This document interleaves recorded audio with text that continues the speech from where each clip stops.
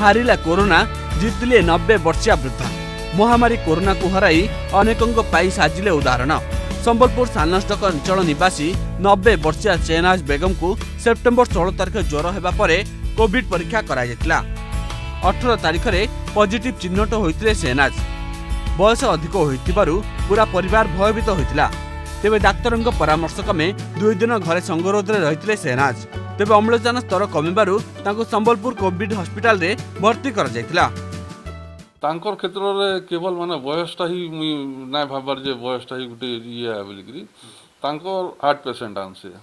Sugar patient ଆନସେ ଆଉ blood pressure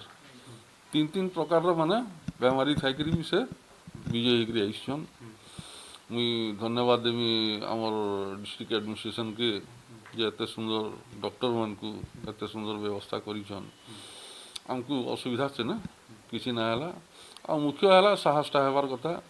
ଯିଏ ଆଟେଣ୍ଡର ଅଛି ଆଟେଣ୍ଡାଣ୍ଟ ଅଛି ସେ ବି ଟିକେ ଚାଲାକ ହେବାର କଥା କିନ୍ତୁ ସେ ଡରି ନାହିଁ ମାନେ ଯଦି ଆପଣ ଡରିଯିବେ ବୋଲେ ଆପଣ ବେଶୀ ଦିନ ସର୍ଭାଇଭ୍ ନାଇଁ କରିପାରନ୍ ସେହନାଜ ବେଗମଙ୍କୁ ଅଧିକ ବୟସ ହେବା ସହ ହୃଦରୋଗ ମଧୁମେହ ଓ ଉଚ୍ଚ ରକ୍ତଚାପ ଭଳି ସମସ୍ୟା ରହିଥିଲା ତେବେ ତାଙ୍କୁ ଡାକ୍ତରଖାନାରେ ଆଟେଣ୍ଡାଣ୍ଟ ଭରସାରେ ନ ଛାଡ଼ି ବହୁ ସାହେଦା ସେବା କରିଥିଲେ କିନ୍ତୁ ସବୁଠାରୁ ବଡ଼ କଥା ହେଲା ସାହେଦା ନିଜେ ଜଣେ ଆଜମା ରୋଗୀ ଏବେ ଉଭୟ ସୁସ୍ଥ ହୋଇ ଘରକୁ ଫେରିଛନ୍ତି इनको एक हफ्ता पहले से फीवर आ रहा था फिर फीवर आते थे फिर हम लोग टेस्ट कराए तो पॉजिटिव आया तो दो दिन हम लोग घर में थे डॉक्टर बोले थे दवा से अगर क्योर हो जाएगा ठीक है ना तो फिर मेडिकल ले जाना तो दो दिन बाद उनका नहीं कुछ ऑक्सीजन लेवल कम होने लगा तो हम लोग फिर हम लोग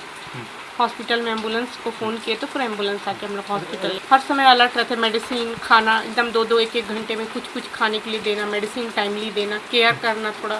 नीट एंड क्लीन रखना। सेना सुस्थ हो घर को फेर पर पूरा परिवार एवं खुशी दृढ़ मनोबल सह कोरोना विरुद्ध लड़े जे विजयी हो पार यह प्रमाणित कर सेनाज Sambalpur camera person Rohit Singh Malay Bhoi report Argus News